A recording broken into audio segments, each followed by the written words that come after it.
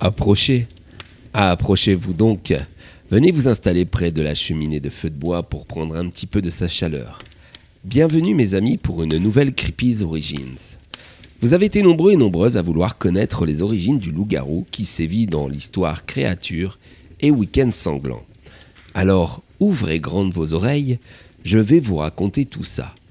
Pour ce faire, nous allons devoir remonter le temps pour revenir dans les années 80. Plus exactement en 1981, le 4 mai à 4h30. C'est à cette heure-là qu'est né le petit Roger. Et oui, vous avez bien entendu, Roger, un prénom particulièrement ringard pour cette époque-là, mais la mère du garçon était fan de Jazz Bond, et elle a pensé de suite à Roger Moore, l'un des interprètes de l'agent 007. Sauf qu'il faut bien l'avouer, Roger Moore c'est beaucoup plus classe que Roger Bernard. Ben oui, parce que Bernard c'est son nom de famille. Le pauvre gosse. Avouez qu'il y a mieux pour démarrer dans la vie, non? Et si en plus on rajoute à ça que Roger était prématuré, qu'il était épais comme une crevette et d'une laideur sans nom. Il était tout fripé comme un charpé. Sauf que chez les charpés, les plis, c'est mignon. Remarquez, dès son plus jeune âge, Roger Bernard ressemblait déjà à un chien. Un signe, certainement. Je vous laisse en tout cas imaginer l'enfance qu'il a pu avoir, et l'adolescence.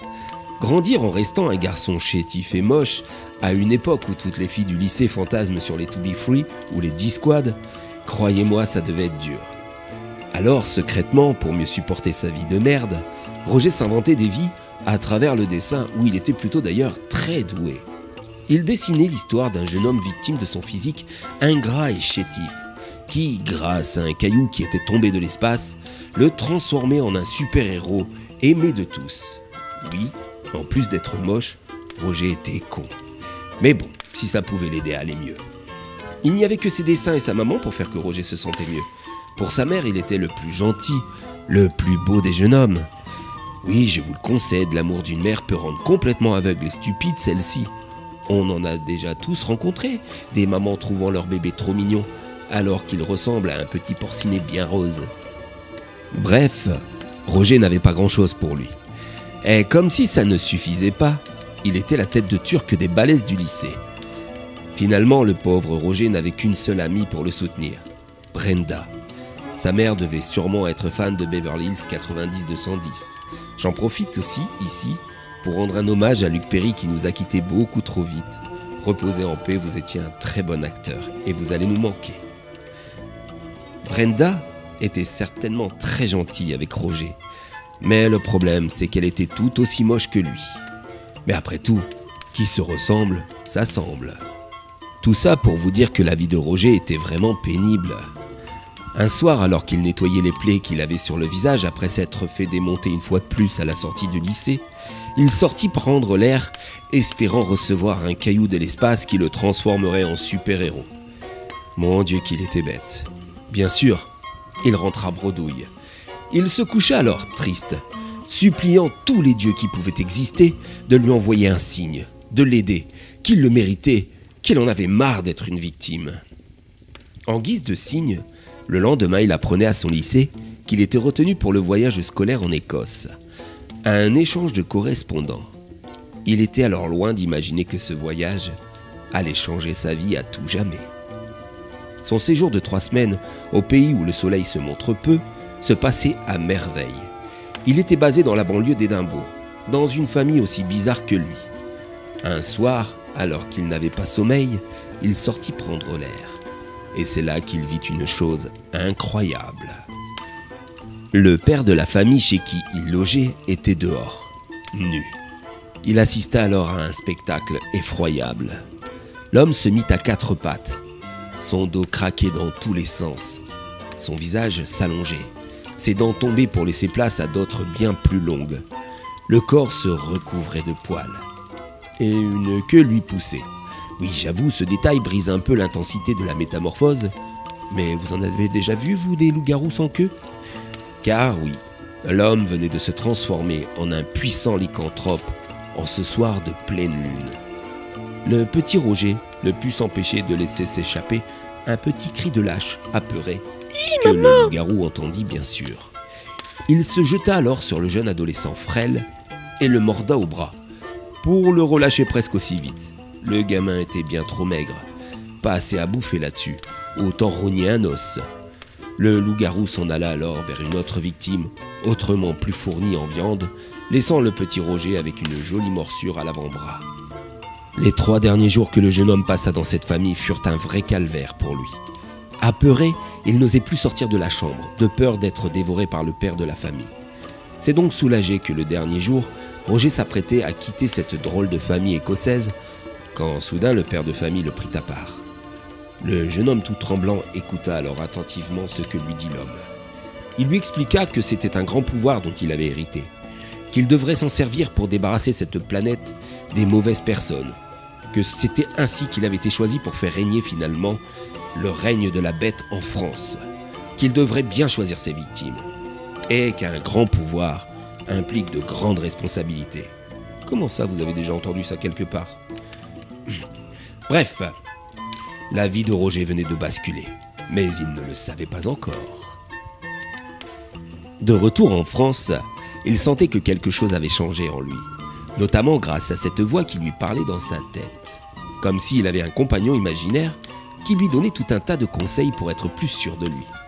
Cette voix lui répétant sans cesse qu'un loup-garou était un mal dominant, pas un toutou à sa mémère, qu'il ne devait en aucun cas se laisser marcher sur les pattes.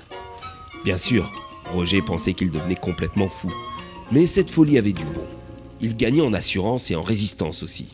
Ainsi, les coups des balaises à la sortie d'école ne lui faisaient même plus mal, au point que ceux-ci s'arrêtèrent d'eux-mêmes. C'est vrai quoi, taper sur quelqu'un qui ne ressent rien, ce n'est plus drôle. Petit à petit, il gagne en confiance, en reconnaissance, et le regard des autres changeait peu à peu sur lui, dont celui de son amie de toujours, Brenda, qui semblait s'intéresser de plus en plus à sa personne. Un jour, elle lui avoua ses sentiments à son égard. Roger fut flatté et céda à ses avances, la voix dans sa tête lui donnant son approbation de cette manière. Bon ok, elle est moche, mais elle est gentille, et puis il faut bien une première fois. Un loup-garou doit forniquer, c'est un mal dominant. Tout naturellement, les deux tourtereaux se retrouvèrent un soir dans une cabane isolée que seul Roger connaissait pour ce qui allait être une nuit d'amour torride. Mais comme je vous l'ai dit auparavant, Roger était con. Et il a choisi une nuit de pleine lune pour ce rendez-vous amoureux. Et ce qui devait arriver arriva. Imaginez donc la scène. En pleine action, notre cher Roger a commencé sa première métamorphose, dans des hurlements de douleur. Pendant que la pauvre Brenda se faisait déchirer l'entrejambe, les loups-garous étant bien mieux montés que les humains. La pauvre ne put se débattre quand les mains du jeune homme se sont pourvues d'immenses griffes, que sa gueule s'est agrandie et que des poils ont recouvert son corps et elle s'est fait bouffer en moins de temps qu'il ne faut pour le dire. On peut dire que ce jour-là, Roger a eu plusieurs premières fois. Premier acte sexuel, première transformation et premier gueuleton. Lorsqu'il a vu l'ampleur des dégâts, il s'est sauvé le plus loin possible pour se réveiller tout nu dans un bois.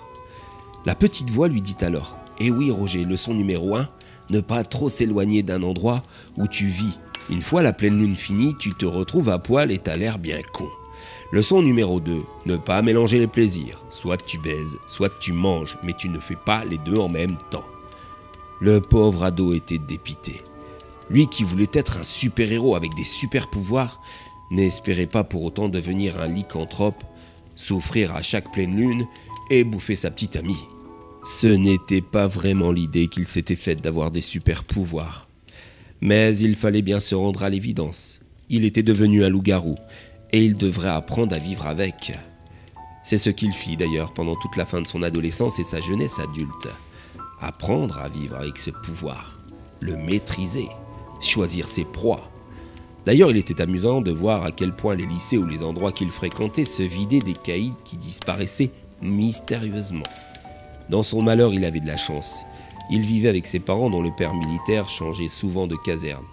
Il déménageait donc souvent et c'était plus facile de cacher ses méfaits. Comme cette fois par exemple où il a dévoré ses gens dans une cabane de chasseurs dans le bois, ou ce week-end sanglant où il avait invité toute une bande d'idiots de sa fac et qui ont fini dans son assiette, ou sa gueule comme vous voulez. Les années ont passé encore. Et aujourd'hui, Roger, rebaptisé Jay, est devenu un bel homme de 37 ans. Il n'est plus idiot du tout. Il a un charisme que sa condition de lycanthrope lui a apporté, un véritable pouvoir de séduction. Il est toujours en mouvement, sans attache, sans femme ni enfant. Il vit de petits contrats de travail et change souvent de région, voire de pays.